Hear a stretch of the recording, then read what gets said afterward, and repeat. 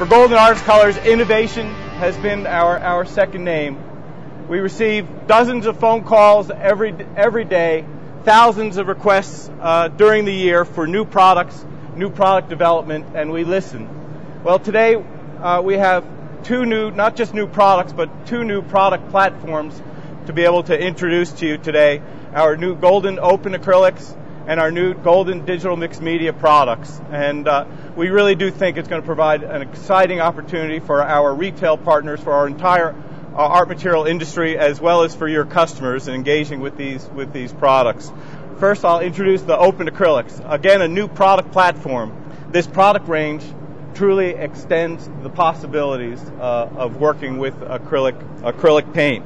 This is the new Open Acrylic, and it's called Open because it has an, a very long open working time, very relaxed working time.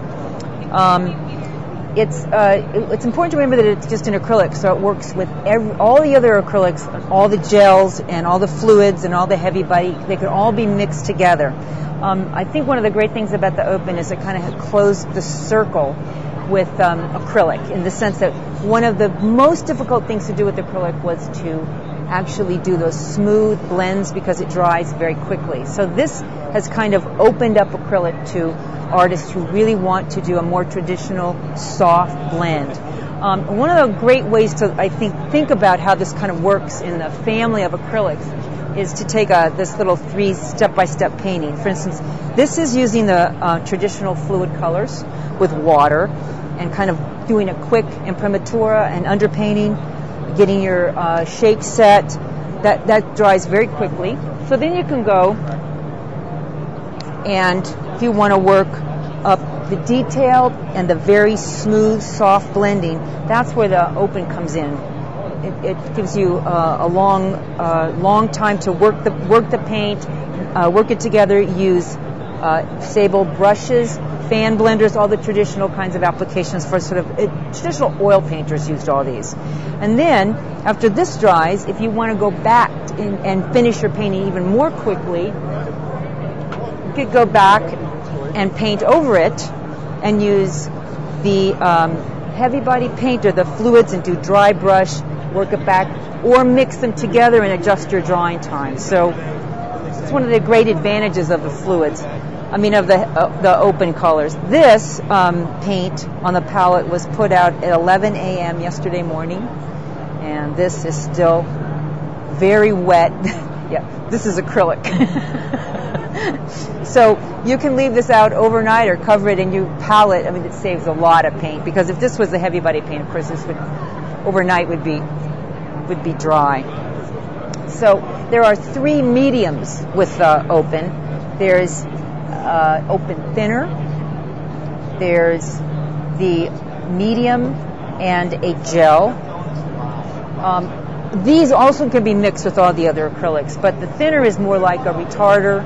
Uh, you can use this to thin down the open. You can use it to, uh, when, it, when it begins to dry a little bit on your painting, if you want to um, get some more fluidity with the paint, just put the thinner in, and that will sort of re-wet it, I think is, a, is a, probably a better way. And you can see how this feels without, without actually having it in your hand, it feels very different from all other acrylics. Very smooth, very sweet, uh, lower viscosity, so you can keep working it.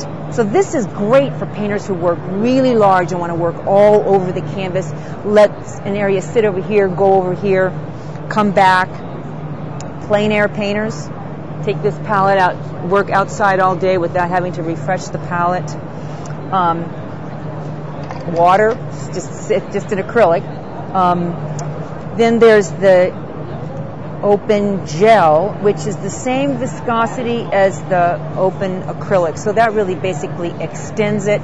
It's a gloss, it dries gloss, so it just gives it a gloss.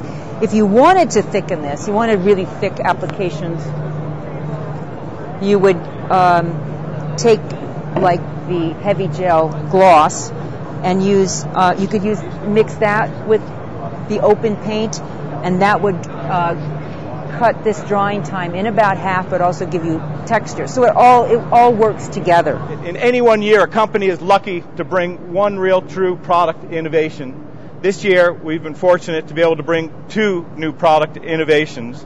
Our digital uh, mixed media products. This product is not just a, a new product, but again, a whole new way of working, investing, and looking at a whole new opportunity for artists uh, to be able to engage with real, real paint.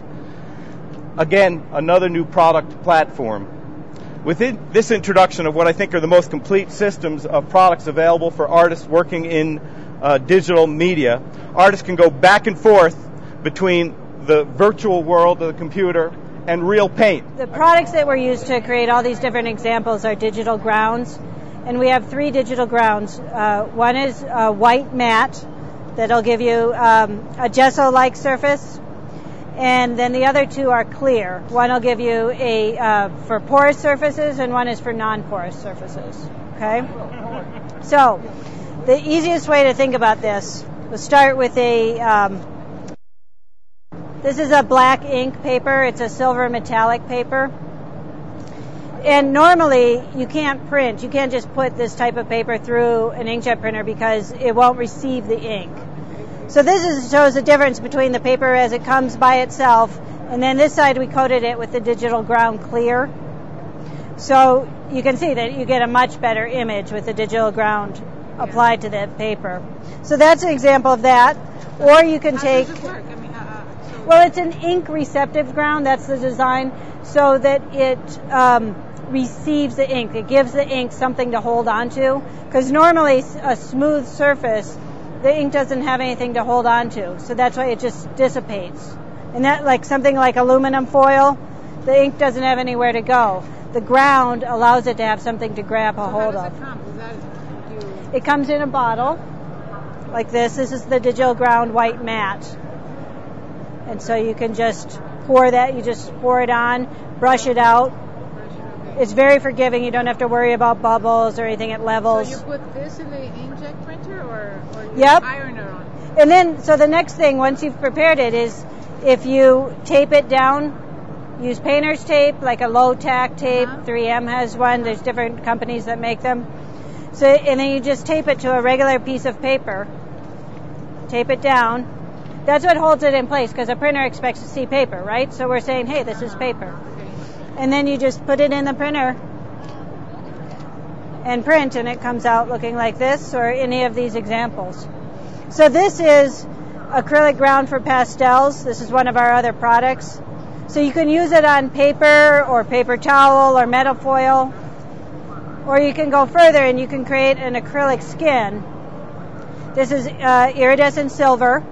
And I just laid it out on a, like a garbage bag or wax paper, something that acrylic paint won't stick to.